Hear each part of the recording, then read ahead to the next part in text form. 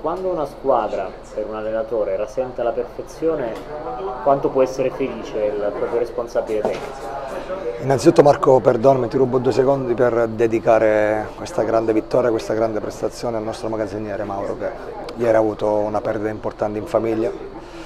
gli voglio dire che veramente gli siamo tanto vicini in questo momento brutto e, e, lo vogliamo con noi al più presto. Per quanto riguarda la prestazione dei ragazzi sono contentissimo. Veramente c'è stata una prestazione importante dall'inizio fino alla fine dal punto di vista tecnico, dal punto di vista difensivo, dal punto di vista atteggiamento.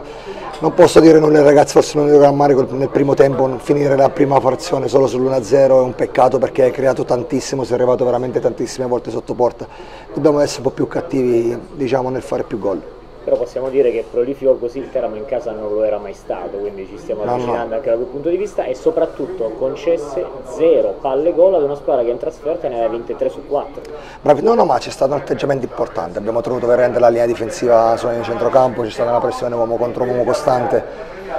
veramente non posso dire nulla ai ragazzi, eh, anzi voglio spezzare una lancia a favore dei giocatori lì davanti perché se sbagliano tanto è perché veramente devono fare tanti metri perché gli chiedo veramente tanto sacrificio in fasi non possesso e veramente lo fanno. Ma questa è una squadra Marchino che sta crescendo partita dopo partita, si vede dal punto di vista tecnico, dal punto di vista della mentalità, però lo dico sempre, l'importante è rimanere umili perché veramente l'ostacolo è dietro l'angolo e noi dobbiamo essere bravi una volta che capiterà nel superarlo alla grande. E non è facile dal punto di vista della Cabala vincere due partite casalinghe consecutive in quattro giorni, il Teramo ha sfatato anche questo torneo. Ma soprattutto uscire da 3-4 partite secondo me difficilissime, difficilissime. Eh, quindi i ragazzi ne sono usciti alla grande.